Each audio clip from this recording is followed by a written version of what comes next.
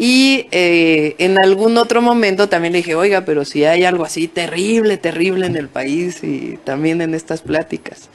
Eh, dijo, no, pues sí es, digo, y yo le dije, la patria es primero, y me dijo, sí, la patria es primero.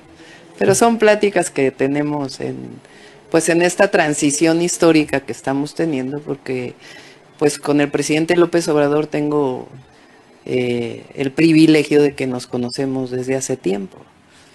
Eh, pues hemos trabajado casi 24 años.